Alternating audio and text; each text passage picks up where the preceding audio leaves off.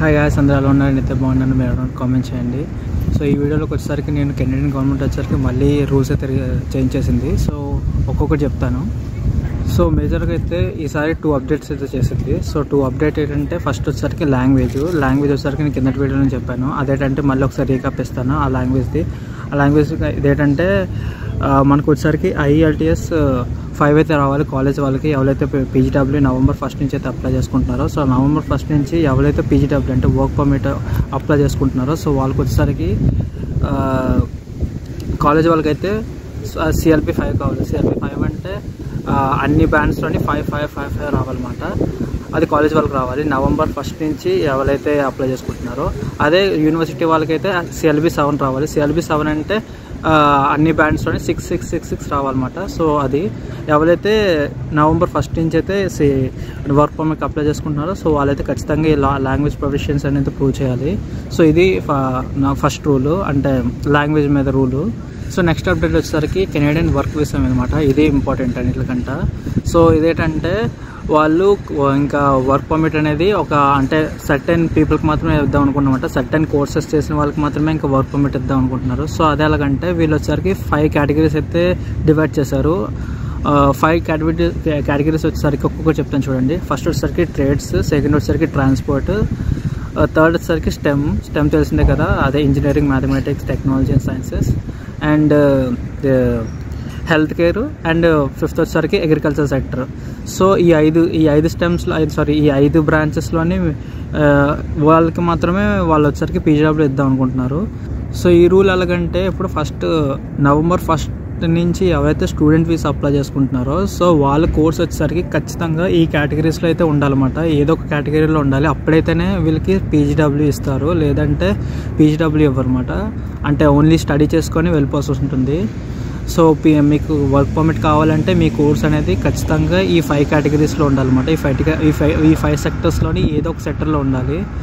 So అదనమాట ఎందుకంటే long టర్మ్లో కెనేడియన్ గవర్నమెంట్కి వచ్చేసరికి ఈ ఈ సెక్టర్స్ వాళ్ళ పీపుల్ మాత్రమే కావాలన్నమాట. సో ఈ రూల్ ఏ ఏ లెవెల్ ఆఫ్ ఎడ్యుకేషన్ వాళ్ళకి వర్తిస్తుంది అంటే కాల్ యూనివర్సిటీ వాళ్ళు వచ్చేసరికి బ్యాచిలర్స్ ఆర్ మాస్టర్స్ వాళ్ళు ఏ స్ట్రీమ్ తీసుకున్నా పర్లేదు వాళ్ళకైతే త్రీ ఇయర్స్ వర్క్ పర్మిట్ అయితే వస్తుంది. కాకపోతే యూనివర్సిటీలోనే డిప్లొమా కోర్స్ కానీ లేదా సర్టిఫికేషన్ కానీ చేస్తే ఈ రూల్ అయితే వర్తించదు. ఇది ఎలా అంటే కొంచెం క్లియర్గా చెప్తాను చూడండి.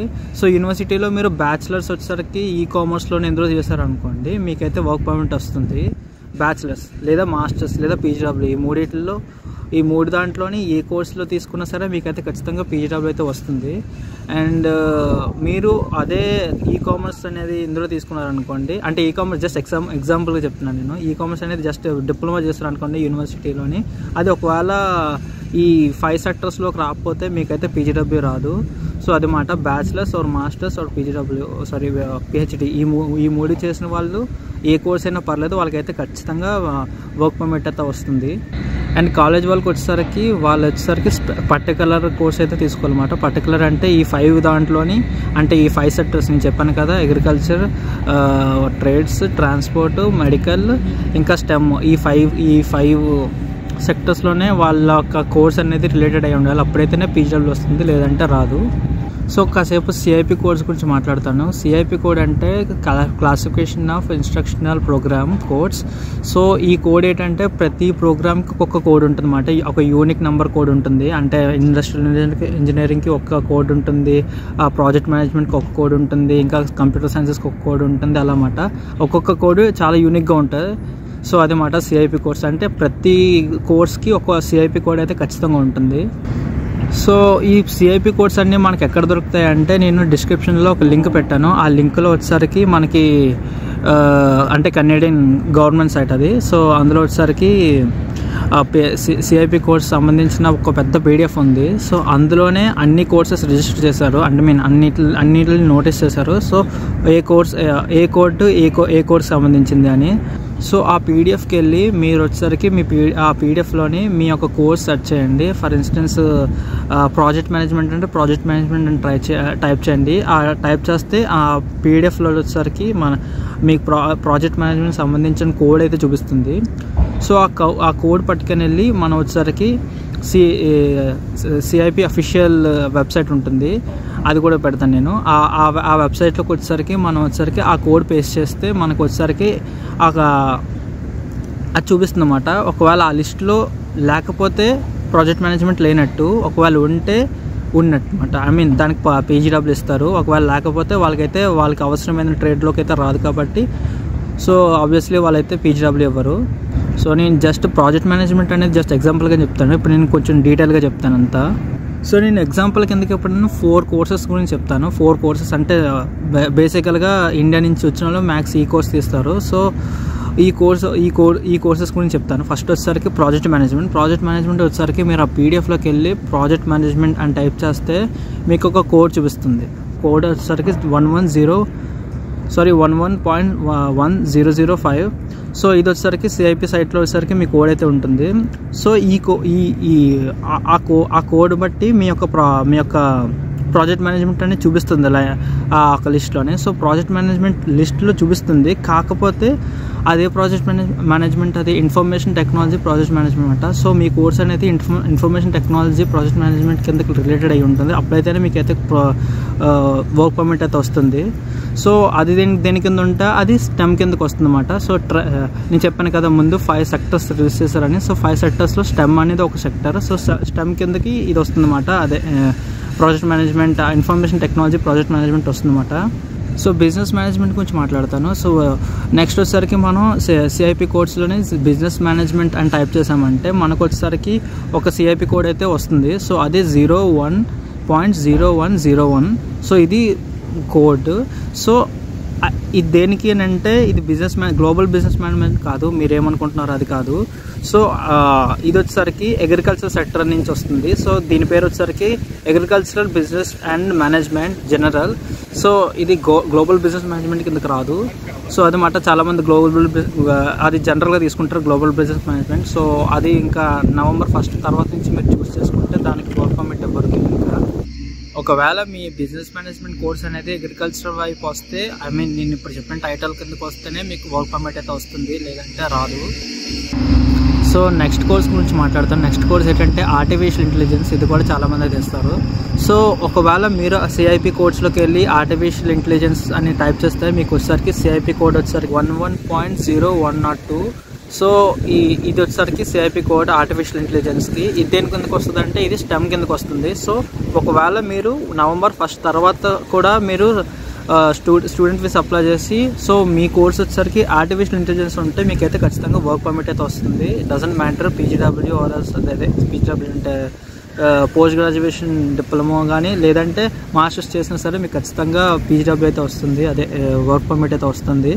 సో ఇప్పుడు నా కోర్స్ గురించి మాట్లాడతాను నేనైతే నేను ఏదైతే కోర్స్ తీసుకున్నాను ఇక్కడ. సో నాది వచ్చేసరికి ఇండస్ట్రియల్ ఇంజనీరింగ్.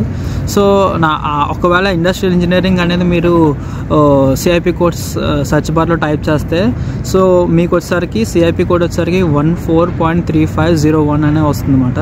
సో ఇది వచ్చేసరికి సిఐపి కోడ్ ఇండస్ట్రియల్ ఇంజనీరింగ్కి సో ఇది స్టెమ్ కిందకి వస్తుంది ఎస్టీఎం స్టెమ్ కింద వస్తుంది.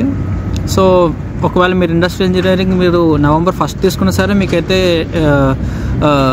పీజీడబ్ల్యూ అయితే వస్తుంది అదే వర్క్ పర్మిట్ అయితే వస్తుంది.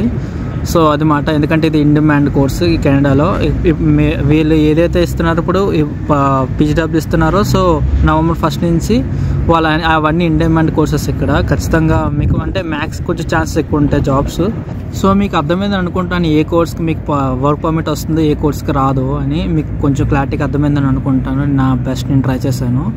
సో ఇప్పుడు వచ్చేసరికి ఈ రూల్స్ ఎవరి మీద uh, ఇంప్లిమెంట్ అవుతుందో మాట్లాడతాను. అంటే కెనడాలో ఉన్న వాళ్ళకా ఇండియాలో ఉన్న వాళ్ళకా లేదా ట్రావెలింగ్లో ఉండే వాళ్ళకా అక్కడి నుంచి ఇక్కడికి వస్తున్న వాళ్ళకి వా ఎవరి మీద ఇంపాక్ట్ అవుతున్నాయో ఇప్పుడు క్లియర్గా ఎక్స్ప్లెయిన్ చేస్తాను. సో ఇది వచ్చేసరికి నేను ఫోర్ కేసెస్ కింద డివైడ్ చేశాను. సో ఫస్ట్ కేసు గురించి మాట్లాడతాను. ఫస్ట్ కేసు ఏంటంటే ఎవరైతే కెనడాలో ఉండి చదువుకొని ఇప్పుడు గ్రాడ్యుయేట్ అయిపోయారు అనుకో సో నవంబర్ ఫస్ట్ లోపు ఎవరైతే వర్క్ వీసాకి అప్లై చేసుకుంటున్నారో వాళ్ళకి ఎటువంటి రూలు పడదన్నమాట. ఈ టూ రూల్స్ నేను ఇరవై రోజులు చెప్పాను కదా ముందు. ఒకటి వచ్చరికి లాంగ్వేజ్ రూల్ ఇంకోటి వచ్చరికి కేటగిరీస్ ఈ రెండు సిఐపి కేటగిరీస్. సో ఈ రెండు రూల్స్ వస్తే వాళ్ళకైతే వాళ్ళ మీద ఇంప్లిమెంట్ అవ్వదన్నమాట. సో వాళ్ళైతే అప్లై ఐ మీన్ డైరెక్ట్గా అప్లై చేసుకోవచ్చు. సో అది మాట first case. So second case గురించి మాట్లాడతాను. ఎవరైతే కెనడాలో ఉన్నారో చదువుతున్నారో ప్రజెంట్ చదువుతున్నారో ఇంకా గ్రాడ్యుయేట్ అవ్వలేదు నవంబర్ ఫస్ట్ తర్వాత గ్రాడ్యుయేట్ అవుతారు and visa work visa November first తర్వాత అప్లై చేసుకుంటున్నారు. సో వాళ్ళకి వచ్చేసరికి ఖచ్చితంగా లాంగ్వేజ్ అయితే ప్రొఫెషన్ లాంగ్వేజ్ ప్రొఫెషన్ అయితే ఖచ్చితంగా ప్రూవ్ చేసుకోవాలి. అంటే యూనివర్సిటీ అయితే సిఎల్బి సెవెన్ అంటే అన్ని అన్ని బ్లాంక్ అన్ని బ్యాండ్స్లో సిక్స్ అయితే రావాలి. అండ్ కాలేజ్ వాళ్ళు అయితే అన్ని బ్యాండ్స్లో ఫైవ్ అయితే రావాలి సిఎల్ సిఎల్బి ఫైవ్ సో అదమాట ఎవరైతే చదువుతున్నారో ప్రెసెంట్ ప్రెసెంట్ నవంబర్ ఫస్ట్ తర్వాత అప్లై చేసుకుంటున్నారో వాళ్ళకైతే వాళ్ళ మీద అయితే లాంగ్వేజ్ రూల్ అయితే పడుతుంది. అండ్ ఈ రెండో రూల్ ఏదైతే సిఐపి కేటగిరీస్ ఇదైతే పడదు. ఈ రూల్ అయితే పడదు వాళ్ళకి. సో ఇప్పుడు థర్డ్ కేస్ గురించి మాట్లాడతాను. థర్డ్ క్లాస్ ఎవరంటే ఇప్పుడు ఇండియాలో ఉంటూ నవంబర్ ఫస్ట్ లోపు కెనడాలో స్టడీ వీసా వేసుకున్న వాళ్ళ గురించి మాట్లాడతాను. సో వాళ్ళ మీద వచ్చేసరికి నవంబర్ ఫస్ట్ లోపు వాళ్ళు స్టడీ వీసా వేసుకుంటే వాళ్ళ మీద వచ్చేసరికి లాంగ్వేజ్లో అయితే ఒక్కటే పడుతుంది. అంటే వాళ్ళు ఇక్కడికి వచ్చి వర్క్ పర్మిట్ వేసుకున్నప్పుడు ఖచ్చితంగా వాళ్ళైతే లాంగ్వేజ్ ప్రొఫెషన్స్ అనేది ప్రూవ్ చేయాలి.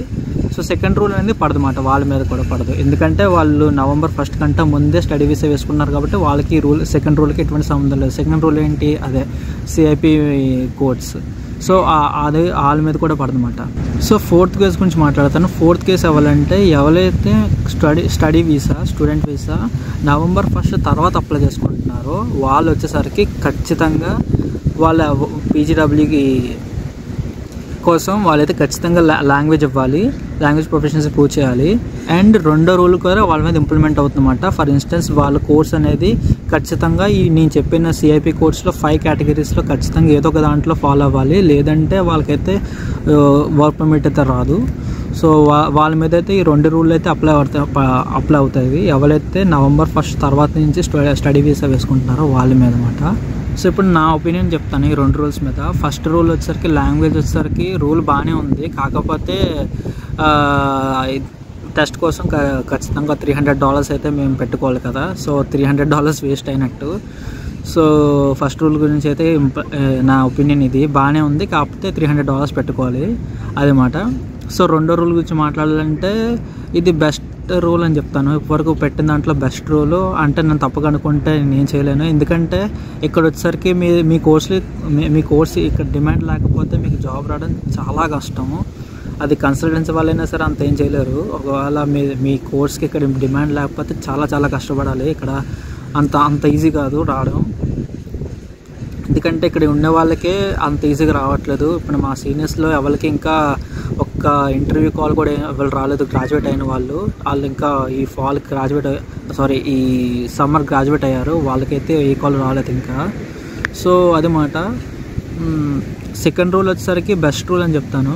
ఎందుకంటే ఒకవేళ మీ మీకు అది అందరి అందరికీ చాలా మంచిది. ఎందుకంటే ఒకవేళ కోర్స్ అనేది ఇన్ డిమాండ్లో లేకపోతే వాళ్ళకైతే చాలా కష్టమైపోతుంది ఇక్కడ. ఫీల్డ్ ఫీల్డ్ జాబ్ అనేది ఇంకా చాలా కష్టంగా దొరుకుతుంది. సో అది మాట. ఇది నా ఒపీనియన్ ఈ రెండు రూల్స్ మీద. సో అది కాదు ఈరోజు వీడియోకి నేను చెప్పిందని అర్థమైంది అనుకుంటాను. ఈ టూ రూల్స్ అయితే అప్డేట్ చేశారు కెనడియన్ గవర్నమెంట్ వచ్చేసరికి. ఇది నా ఫోర్త్ వీడియో ఈ కెనడా రూల్స్ ఇమిగ్రేషన్ రూల్స్ మీద. సో మీకు ఏమైనా డౌట్ ఉంటే మీకు కామెంట్ చేయండి. నేను ఖచ్చితంగా రిప్లై అయితే ఇస్తాను సో అదనమాట ఉంటాను. Bye bye